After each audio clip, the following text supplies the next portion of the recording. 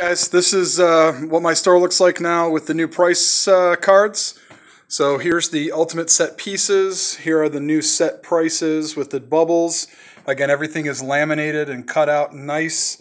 Um, I've got the specialty pieces lined up in order, and then the specialty piece price card right down there.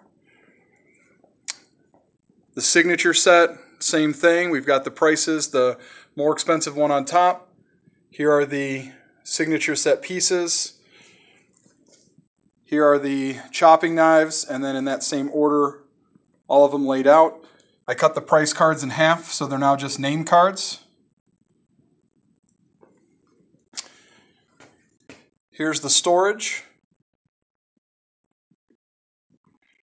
Got the homemaker and the galley. Again, I know everybody, every store is a little bit different with your graphic board, so do whatever works for you. Got the homemaker pieces, got the galley pieces, and then again, I've got the paring and prep.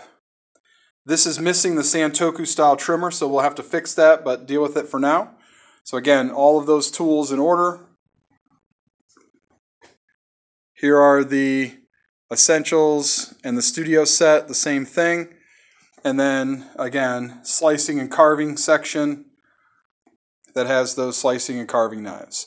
Part of the idea behind doing these in category, slicing and carving, paring and prep,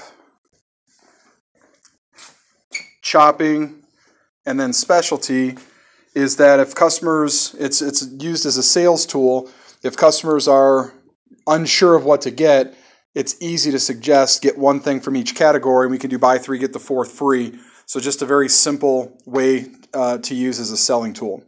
All right, there you go. Hopefully that helps everyone. Let me know if you have any questions.